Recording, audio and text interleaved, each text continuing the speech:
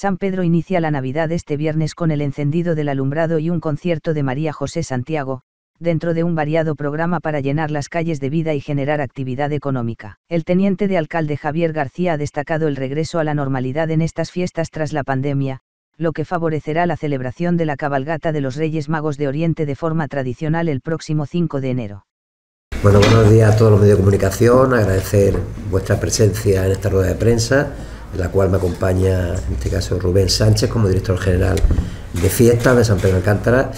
Y bueno, el motivo de esta rueda de prensa, como bien saben, es pues la presentación de la programación de la Navidad 2022-2023 de San Pedro Alcántara. Hay que decir que una rueda de prensa que realmente yo el titular que le pondría, estoy haciendo ya labores que no me corresponden, sería la Navidad llega a San Pedro Alcántara. Y llega a partir de este viernes, de este viernes día 2, pues que realmente al igual que en el resto del municipio, pues se inaugurará lo que es el alumbrado navideño, alumbrado navideño que se está finalizando su instalación, que esperemos que guste a los vecinos de San Pedro de Alcántara, se ha hecho, vamos a contar eh, con un espectáculo musical en Marque del Duero, que creo que, que será de agrado de nuestros vecinos y fundamentalmente con un espíritu navideño. Decir que, que yo me gustaría en esta rueda de prensa dar las gracias a determinadas personas, a determinados colectivos, en este caso dar las gracias por supuesto a Rubén Sánchez, a toda la área de fiesta por el trabajo, el magnífico trabajo que han realizado en, la confección de, de esta programación, porque no es fácil teniendo en cuenta que pasamos, venimos de una gran feria y lógicamente vamos así un poco a salto de mata, como se dice eh, popularmente. Y decir que también en este caso quiero dar gracias a Radio Le, de la cadena SER, por su colaboración estimable, que siempre están ahí colaborando con nosotros, que lo vienen haciendo desde el inicio de esta legislatura y de lo cual nosotros nos sentimos muy satisfechos y realmente estamos muy contentos y creo que de justicia agradecerlo también. Y por supuesto también a, a todos los que están haciendo posible que se genere un ambiente de Navidad. Yo puedo hablar aquí de servicios operativos, eh, podemos hablar de obra, de electricidad, eh, parques y jardines, porque un detalle importante es todo lo que es, claro, porque siempre nos fijamos, ayer me lo decía una señora, nos fijamos siempre en el alumbrado navideño como en toda la ambientación. Y hay una parte muy importante que son todo lo que es la ornamentación, podemos decir, floral, todo el tema de los jardines, porque os puedo dar un detalle que en estas navidades en San Pedro Alcántara va a haber talados, plantados, mejor dicho, 12.000 pascueros y que realmente y ciclámenes que realmente pues van a, vestir, podemos decir, por San Pedro Alcántara, sus principales jardines, pues de este ambiente navideño. Decir eh, que los detalles pasará Rubén a explicarlos, pero sí me gustaría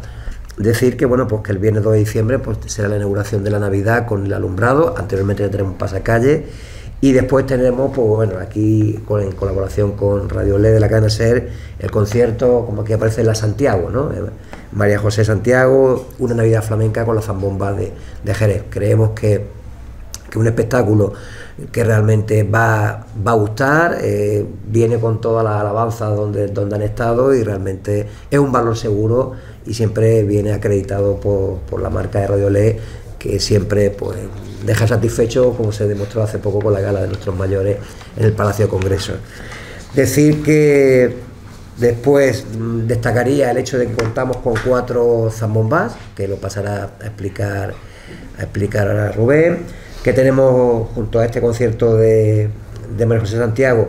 otros tres conciertos, incluido otra gala de Radio Le, que será el sábado 10 de diciembre a partir de las 20 horas. Y por supuesto no nos podemos olvidar que también habrá programación, un concierto de la Málaga Brass Band, que será el 30 de diciembre, que tiene un carácter así, podemos decir, de música navideña, pero que tiene que ver con la música clásica.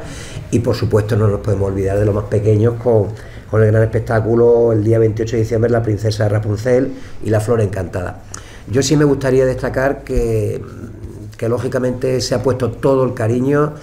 toda la dedicación en hacer una programación de Navidad que realmente cumpla varios objetivos. El más importante, generar un ambiente navideño en San Pedro de Alcántara. Y ese ambiente navideño tiene mucho que ver con, pues, con la familia, la familia en mayúsculas, tiene que ver con el hecho del encuentro con familiares, con amigos y especialmente yo no entiendo una Navidad sin niños. Y lógicamente la Navidad se enfoca en este caso por el hecho de que los niños puedan disfrutar también de esta Navidad, pensando en el día más grande de la Navidad, quitando el nacimiento de Jesús, que es el día 24 por la noche, el 25, el día más grande para mí en Navidad de la programación, saben ustedes que, no sé si le estoy dando una primicia, creo que no, es la cabalgata de los Reyes Magos. Ahí es muy importante el hecho de que en esta cabalgata es por primera vez después de, dos años volvemos a la calle, digo, bueno, cualquiera que nos escuche, volvemos a la calle, es decir, una cabalgata tradicional, al igual que se va a hacer en Marbella, y sabemos que hay mucha expectación, contaremos con un anticipo el día 4, es decir, con, pues, con la llegada de los Reyes Magos, pero para nosotros esos días 4 y 5 son muy importantes porque es el día de los niños y los que siguen o seguimos teniendo la ilusión de los niños, y por tanto decir que, para nosotros es muy importante y se está trabajando mucho en esa, en esa cabalgata. Y finalmente, como objetivo, no tenemos que olvidar un hecho muy importante. Las navidades se celebran, eh, fin de año y los Reyes Magos, también pensando en nuestro tejido empresarial, nuestro tejido comercial y en este caso lo que queremos es que aumenten las ventas, que haya animación, que haya que realmente las calles se llenen de vida. Y para eso hay un día importante, aparte de todas las ventas que realicen durante todas las Navidades, un día muy importante que es el Mercadillo de Navidad, que se celebrará el día 10 eh, de diciembre, sábado, si el tiempo lo permite, que hay que tener en cuenta esta Navidad del tiempo, desde las 10 de la mañana hasta las 20 horas con un mercadillo navideño que van a estar fundamentalmente en calle La Gasca, calle Córdoba y Marqués del Duero, como venimos celebrando tradicionalmente, uno en primavera, otro en Navidad y que realmente el éxito es muy importante y los comerciantes están muy contentos. Por tanto, hablamos de crear un ambiente navideño, hablábamos de llenar de vida las calles de San Pedro Alcántara, pero otro objetivo que no debemos olvidar es generar eh, actividad económica que aumente el volumen de venta de nuestros comerciantes empresarios, porque en definitiva, sin nuestros comerciantes, sin nuestros emprendedores, sin nuestros autónomos, realmente San Pedro no tendría vida. Y son muy importantes y también recomendar pues las compras en el comercio local. Y sin más que me enrollo mucho, pues voy a ceder la palabra a Rubén Sánchez que ya explique con más detalles pues lo que es la programación. Y feliz Navidad para todos.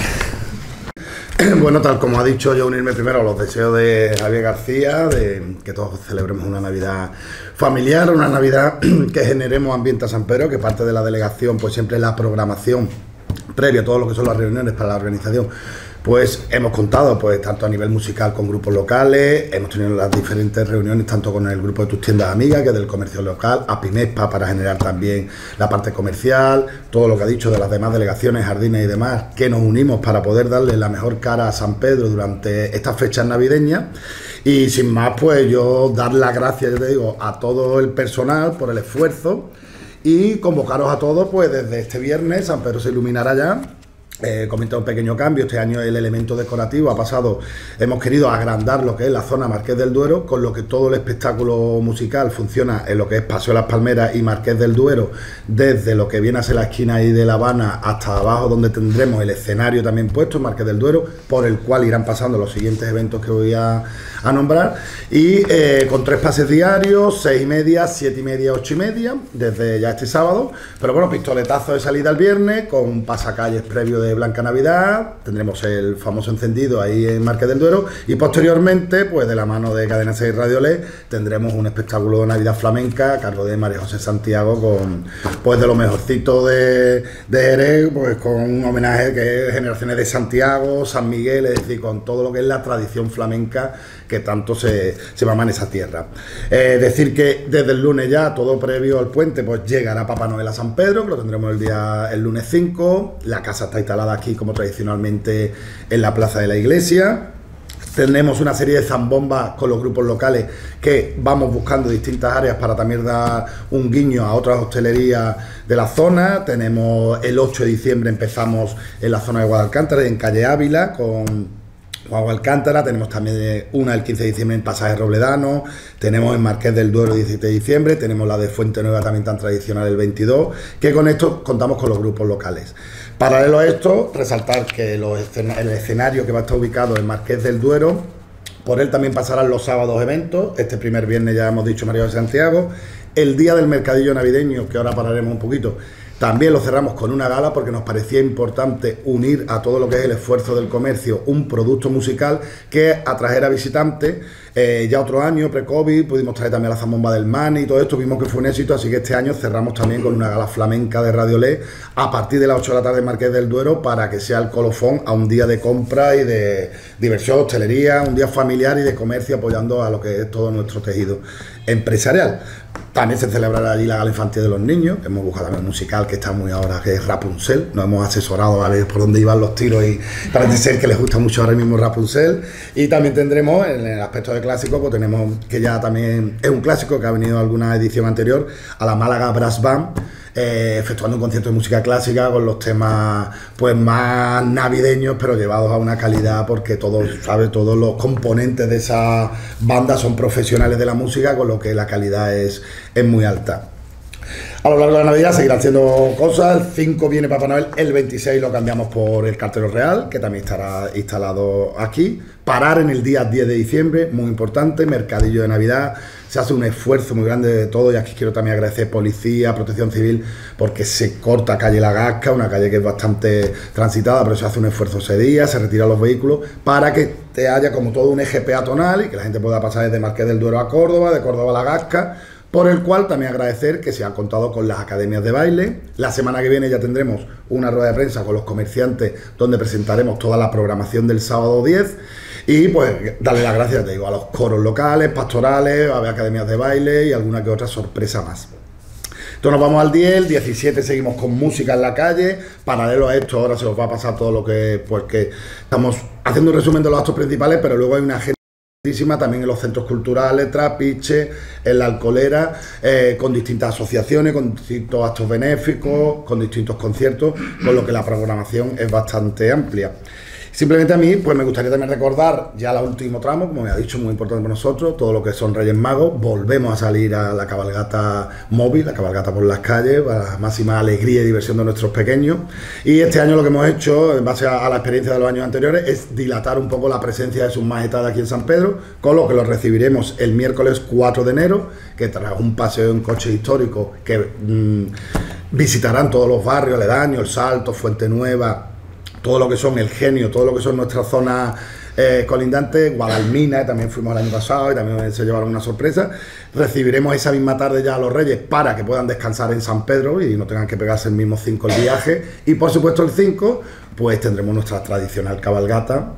que esperamos que sea para el deleite de todos. Así que desde aquí simplemente unirme a la felicitación y daros las gracias y volver a convocar que San Pedro está iluminado en Navidad, está bonito y además con mucha vida y hay que visitar nuestros comercios y nuestra hostelería. Muchas gracias. ¿Tiene alguna pregunta? ¿Desde comercio se va a celebrar el concurso de escaparate? Pues ayer con la reunión de, de APIMEFA estaban terminando de preparar las bases y se va a unir también al concurso de escaparates.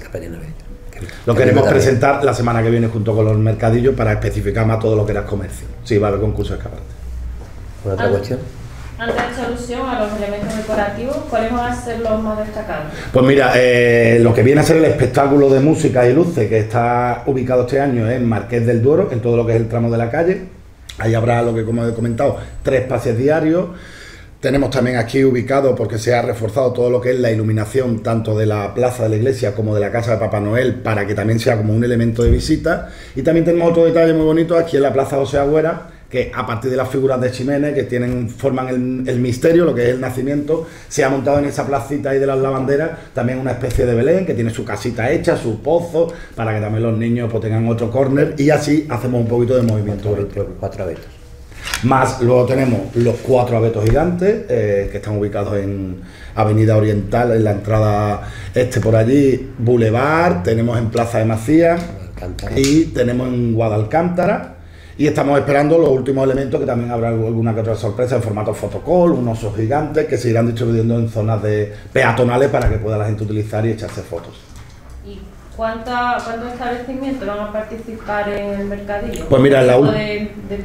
Sí, o sea, el mercadillo está enfocado a todo lo que es el comercio local. Entonces se utilizan las tres calles principales donde hay una afluencia masiva, pero Ahí están ya las bases lanzadas, eso se lanzó hace ya 15 días, se están apuntando. Normalmente suelen, mm, en la última edición de la primavera, porque son dos anuales, se llegó a 40 establecimientos, porque están invitados todos los que tengan un alta de comercio en el pueblo y nosotros le buscamos la ubicación en este eje. También decir que de la mano de Asuntos Sociales se ha invitado al mercadillo navideño a todas las organizaciones eh, que tienen un carácter social para que también tengan esa oportunidad de pues, lucir sus productos y de buscar un, extra de cara a la Navidad.